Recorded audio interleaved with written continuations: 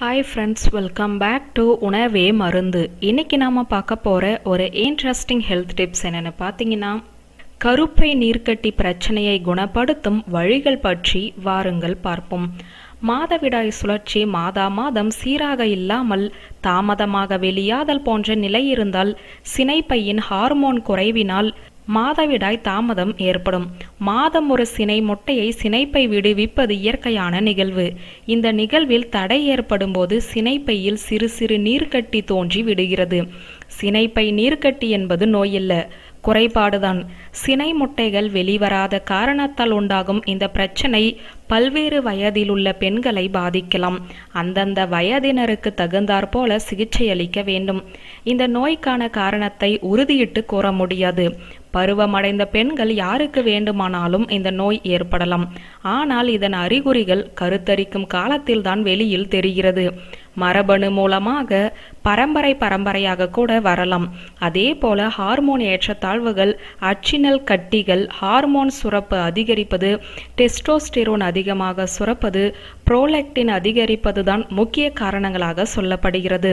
இதனை அன்றாடம் நம் வீட்டில் இருக்கும் பொருட்களை கொண்டே வராமல் தடுக்க முடியும். பெண்களின் கருமுட்டை உற்பத்திக்கு தேவைப்படும் சக்திகளில் முத முதன்மையானது விட்டமின் டி.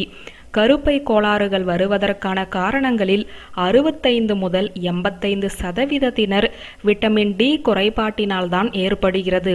இதனால் விட்டமின் டி அதிகமுள்ள உணவுகளை எடுத்துக்கொள்ளலாம் குறிப்பாக காலை நேர வெயில் படுமாறு உங்களது தினசரிகளை மாற்றிக்கொள்ளலாம் இப்படி செய்வதனால் உங்களது மெட்டபாலிசம் தோண்ட பெற்று மாதவிடாய் பிரச்சனைகள் ஏற்படாமல் தடுத்திடும். ஒரு கிளாஸ் சூடான நீருடன் இரண்டு டீஸ்பூன் ஆப்பிள் சீடர் வினிகர் இரண்டு டீஸ்பூன் டீஸ்பூன் சேர்ந்து குடிக்க வேண்டும். இதனை ஒரு நாளில் இரண்டு முதல் மூன்று முறை குடித்து வந்தால் நல்ல பலன் கிடைக்கும். இப்படி குடிப்பதனால் உடலில் இன்சுலின் அளவு சீராக இருக்கும். இதனால் கருமுட்டை உற்பத்தியாவதும் மாதந்தோறும் அது உடைவதும் சீராக நடைபெறும். சுத்தமான தேங்காய் எண்ணெய் மூலமாக கூட கருப்பை நீர்க்கட்டிகளை நம்மால் வராமல் தடுக்க முடியும்.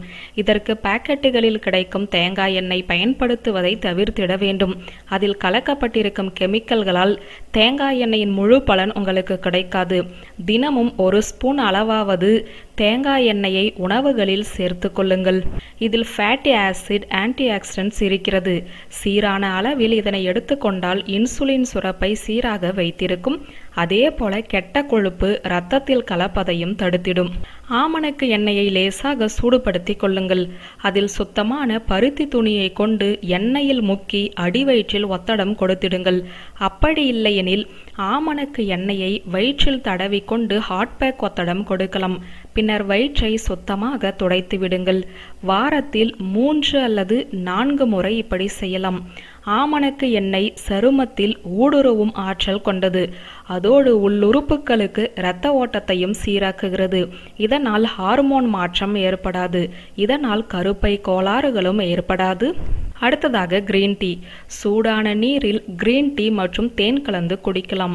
ஒரு நாளைக்கு இரண்டு முதல் மூன்று கப் கிரீன் டீ வரை குடிக்கலாம். இதில் இருக்கும் ஆன்டி ஆக்சிடென்ட்டுகள் கருப்பை சீராக வேலை செய்வதற்கான ஹார்மோன்களை தூண்டிடும். அதிக எடை கூட கருப்பை கோளாறுகள் வருவதற்கு ஒரு வகை காரணமாக இருக்கிறது. கிரீன் டீ குடிப்பதனால் கெட்ட கொழுப்புக்கள் உடலில் சேராது. இதனால் அதீத உடல் எடையும் தவிர்க்கப்படும். கற்றாழை ஜூஸ் காலை உணவுக்கு முன்பு சாப்பிட்டு வர வேண்டும். இதனை தினமும் கூட சாப்பிடலாம். கற்றாழையில் இரத்தத்தில் இருக்கும் கொலஸ்ட்ராலை நீக்கும் ஆற்றல் கொண்டது. அதோடு கருப்பை இயங்குவதற்கான ஆற்றலையும் கொடுக்கிறது.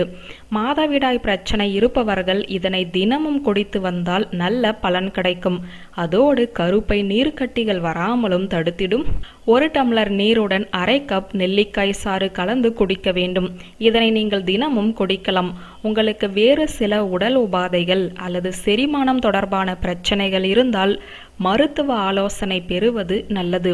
நெல்லிக்காய் உடலில் புரோட்டீன்களின் அளவை அதிகரித்து கொழுப்புக்களை குறைத்து உடல் பருமனை தடுக்கும். நெல்லிக்காயில் ஆன்டி ஆக்சிடென்ட்டுகள் அதிகம் உள்ளது. முக்கியமாக இதில் சூப்பர் ஆக்சைடு டிஸ்முடேஸ் அதாவது எஸ்ஓடி எனும் உட்பொருள் உள்ளது. இது ஃப்ரீ ரேடிக்கல்களிடமிருந்து பாதுகாப்பு அளித்து புற்றுநோயிலிருந்து நம்மை தடுக்கும். நெல்லிக்காய் உடலில் உள்ள டாக்சின்களை முழுமையாக வெளியேற்றி உடலையும் இரத்தத்தையும் சுத்தம் செய்யும்.